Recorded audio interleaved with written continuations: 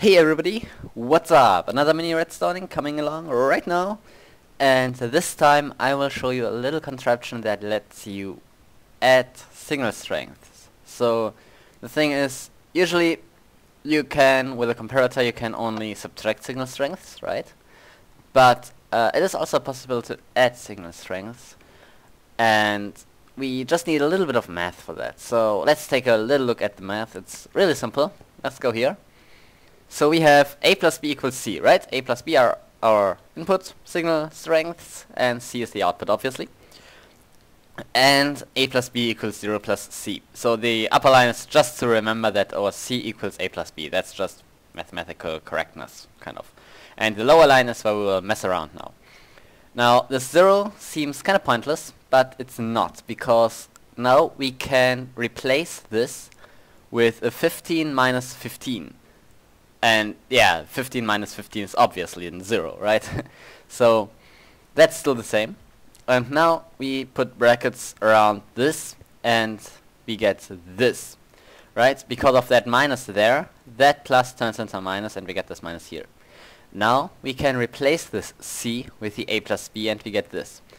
Right, so instead of the c we just have this a plus b here. Of course in brackets again because we have this minus there.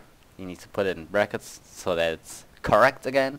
And now we destroy these brackets and because of that minus, that plus turns into minus 2 and we get this. So a plus b equals 15 minus open brackets 15 minus a minus b close bracket and that's it because now we have an equation for uh, a plus b that only uses uh, subtractions and we can easily realize uh, subtractions with comparators, right?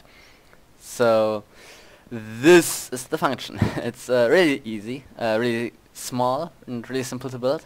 These are our input lines, A and B, and this is our output line, C.